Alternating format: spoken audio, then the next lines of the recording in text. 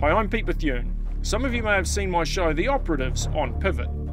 In a recent episode, we target an Asian crime syndicate smuggling endangered turtles from the Philippines back to China. These are sold for pets, for food, and some are even made into trinkets for tourists. These turtles are theoretically fully protected. The Philippine forest turtle, for example, is classed as critically endangered by CITES, which makes all trade in them illegal. And yet, as we saw in the episode, these are still smuggled in large numbers back to China. It now seems likely that these amazing little animals will go extinct. One of the main factors facilitating this is officials in China.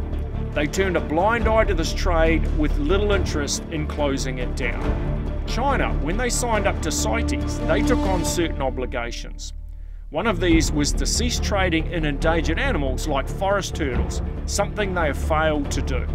We'd like to change this. We're petitioning China to clamp down on illegal trade in all endangered species, including forest turtles.